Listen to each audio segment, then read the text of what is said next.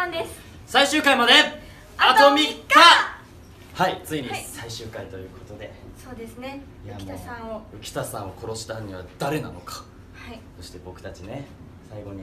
ちょっとやめてくださいよ。いやもう本当にいやもうそちらこそやめてくださいもう本当にやめてくださいめちゃめちゃもうもう終わっちゃうのかなっていう感じで寂しい思い出いっぱいなんですけど、はい。えー皆さんね最後までお付き合いしてくれたらはい。嬉しいと思ってます。ぜひご覧ください。